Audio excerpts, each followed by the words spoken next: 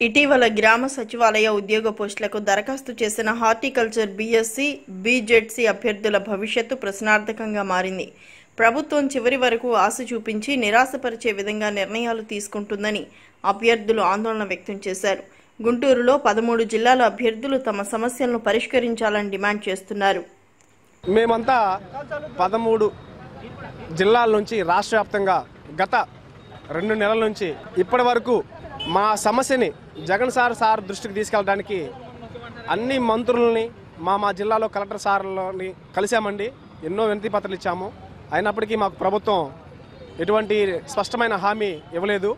అసలు మా సమస్య ఏంటంటే గడిచిన గ్రామ సచివాలయ హార్టికల్చర్ అసిస్టెంట్కి ప్రభుత్వ వా- ప్రభుత్వం ఇచ్చిందండి. వాళ్ళు క్లియర్గా ఇచ్చారు.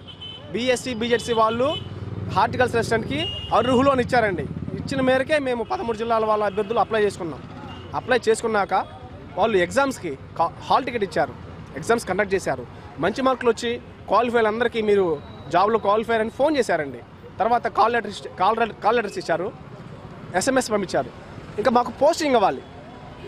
పోస్టింగ్ ఇవ్వకుండా సర్టిఫికేట్ వెరిఫికేషన్ అంతా అయిపోయిన తర్వాత పోస్టింగ్ ఇవ్వలేదు. ఏంటి అని అడిగితే మీరు ఎంపీఓ చేయలేదన్నారండి. అసలు ఎంపీఓ అనేది క్వాలిఫికేషన్ కాదు. సేమ్ మాతోడే చదువుకున్నటువంటి బీఎస్సీ బీజెడ్సీ వాళ్ళకి ఉద్యోగాలు ఇచ్చారు. మేము కూడా అదే చదువు చదువుకున్నాం. మమ్మల్ని పక్క పెట్టారండి. ఆలోచించండి. ప్రభుత్వం వాళ్ళు స్పష్టమైనగా బీఎస్సీ బీజెడ్సీ వాళ్ళు అర్హులు అన్నారు కాబట్టి అప్లై చేసుకున్నాం. అలా అని కాకుండా ఉండుంటే మేము అప్లై చేసుకున్నాం కాదండి. పోస్టులు చూసుకుంటే కనుక ఎంపీఓలకి అన్ని జిల్లాల వాళ్ళకి ఇవ్వగా ఇంకా రెండు వేల పోస్టులు మిగిలిపోయినాయి సార్. దయచేసి జగనన్న గారు గడిచిన వచ్చిన సిక్స్ మంత్స్లోనే ఎప్పుడు ఇవ్వని ఎక్కడ ఇవ్వని ఏ ప్రభుత్వం చేయని భారీ నోటిఫికేషన్ ఇచ్చి ఎంతో మంది జీవితాల్లో వెలుగులు నింపారండి. దానికి జగనానికి ముఖ్యంగా చేతులు ఎత్తి నమస్కరిస్తున్నాను. అలాగే చిన్న సమస్య అండి. సార్ దృష్టికి వెళ్ళకుండా చిన్న చిన్న సమస్యని ఎంతో మంది దాదాపుగా మూడు వందల మూడు వందల కుటుంబాలు నలభై ఐదు రోజుల నుంచి కష్టపడుతున్నాము బాధపడుతున్నాము. చాలా చాలా నిరాశతో నిస్పృతితో ఓపిక రసించి ప్రాణత్యాగానికి కూడా సిద్ధపడి మానసికంగా కృంగిపోయి ఉన్నాం సార్. రీసెంట్గా ముమ్ముడు వారం సార్ మత్స్యకార సభకు విచ్చేసినప్పుడు ఆయన దగ్గరికి మేము వెళ్ళి ఆయనకి మా వినతి పత్రం మా మా వినతి పత్రం మేము అందజేస్తాం సార్కి. ఆయన మా వినతి పత్రాన్ని తీసుకుని జగనన్న గారు ఖచ్చితంగా స్పందించి మాకు అధికారులకి వీళ్ళకి అపాయింట్మెంట్స్ ఇమ్మని ఖచ్చితంగా ఇస్తారని మేము ప్రాధేయపడుతున్నాం. జగనన్న అలా తండ్రి గారు రాజశేఖర రెడ్డి గారి లాగా మాట మాట తప్పని మడమ తిప్పని ఎలా అనే అనేవారో వాళ్ళ నాన్నగారు రాజశేఖర రెడ్డి గారు. అదే త- తనయుడు రాజశేఖర రెడ్డి గారు తనయుడు జగన్మోహన్ రెడ్డి గారు. Chief minister of AP. ఆయన ఖచ్చితంగా స్పందిస్తారని ఆయన మనసు ఖచ్చితంగా మంచి మనసు అని మేము నమ్మి మేము శాంతియుతంగా పోరాడుతున్నాం. ఎన్నో నెలల నుంచి దాదాపు రెండు నెలల నుంచి మేము కలిసి శాంతియుతంగా కలిసి కలుసుకుంటున్నాం మంత్రుల్ని. మాకు ఫోన్స్కి మెసేజ్లు కానీ మెయిల్స్ కానీ ప్లస్ పర్సనల్గా కాల్స్ చేసి ఆయా డిపార్ట్మెంట్లలో మీరు వెరిఫికేషన్కి రావాలి. మీకు కాల్ లెటర్ వచ్చింది డౌన్లోడ్ చేసుకోండి. ప్రొవిజనల్స్ అన్నీ తీసుకురండి అని పిలిచారు. డిస్టిక్ వైజ్గా పిలిచారు. సరే వెళ్ళాము. వెళ్ళాక అన్ని సర్టిఫికెట్లు వెరిఫికేషన్ చేయడం జరిగింది అధికారిక పూర్వకంగా జరిగినాక మా ఫైల్స్ అనేవి పక్కన పెట్టారు. ఎందుకు సార్ పక్కన పెడుతున్నారంటే మీరు నాట్ ఎలిజిబుల్ అన్నారు. ఎందుకు నాట్ ఎలిజిబుల్ అంటే మీకు ఎంపీఓ అనేది లేదు. మా డిపార్ట్మెంట్లో మీరు సర్వీస్ చేస్తూ ఉండాలి. ప్రజెంట్ మినిమం సిహుల్గా ప్రకటిస్తున్నాము అని చెప్పారు. స- మేము అన్నాము సార్ వాళ్ళు ఆల్రెడీ వెయిటేజ్ మార్కులు కోర పొందారు సార్. పదహైదు మార్కులు. మాకు వెయిటేజ్ మార్కులు లేదు. మేము అలాగే వాళ్ళు కూడా same qualification sir. BSc BZC మేము కూడా మెరిట్ లిస్ట్ సాధించాం కదా. ఒక్క రీజన్తో మమ్మల్ని అనర్హులుగా ప్రకటించడం న్యాయం కాదు.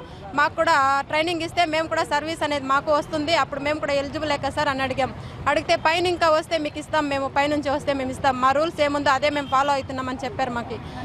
అన్నీ రెడీ చేసి పెట్టుకున్నారు సార్. ప్రీ ప్లానెడ్గానే ప్లేస్మెంట్ అప్లికేషన్ ఫామ్ కూడా ఫిలప్ చేసి పెట్టుకున్నారు మా దగ్గర. అయితే మేము జాబ్ ఇచ్చేసినట్టే అనుకొని ఆనందంతో వెళ్ళాం ఇంటికి. వెళ్ళినాక మళ్ళీ ఇప్పుడు ఏమంటున్నారు స్టేట్ వైజ్ ఇదే ప్రాబ్లం అని మాకు అర్థమైంది.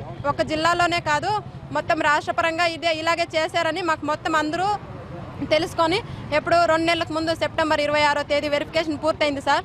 అప్పటి నుంచి మేము మొత్తం రాష్ట్రం అంతా పదమూడు జిల్లాలలో కలిసి ప్రతి ఒక్క మినిస్టర్ని ఎమ్మెల్యేని ఎంపీ గారిని గవర్నర్ని హోమ్ మినిస్టర్ని వ్యవసాయ శాఖ మినిస్టర్ కన్నబాబు గారిని అలాగే కమిషనర్ చిరంజీవి చౌదరి గారిని మళ్ళా మళ్ళీ పంచాయతీరాజ్ మినిస్టర్ పెద్దిరెడ్డి పెద్దిరెడ్డి గారిని అందరినీ కలిసాం సార్. గిరిజా శంకర్ సార్ని అందరినీ కలిసాము. అయితే కలిస్తే పూనం మాలకొండయ్య మళ్ళీ శ్రీమతి పూల పూనం మాలకొండయ్య గారిని కూడా కలిసాం సార్ మేము.